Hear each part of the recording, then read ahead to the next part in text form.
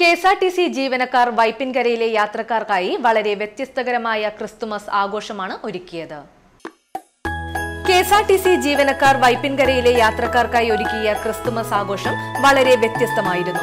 പാപ്പയുടെ വേഷത്തിൽ ബസ് ജീവനക്കാരും ബലൂണും തോരണങ്ങളുമായി ബസ് അലങ്കരിക്കുകയും ചെയ്തിരുന്നു. ഇത് യാത്രക്കാർക്ക് വളരെ വേറിട്ട ഒരു അനുഭവമായി. തുടർന്ന് വള്ളാർപാടം സ്റ്റോപ്പിൽ ബസ് നിർത്തുകയും C P I M Puthuvype local secretary M P Prashobh cake മുറിച്ച് ബസ്സിലെ മുതിർന്ന യാത്രക്കാരന് നൽകി ഉദ്ഘാടനം ചെയ്തു.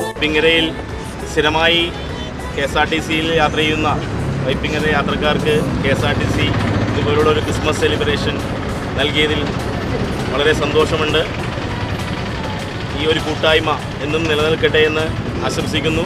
തുടർന്ന് ബസ്സിലെ യാത്രക്കാർക്കും കേക്കുകളും മറ്റും മധുരപലഹാരങ്ങളും നൽകി ബസ് യാത്ര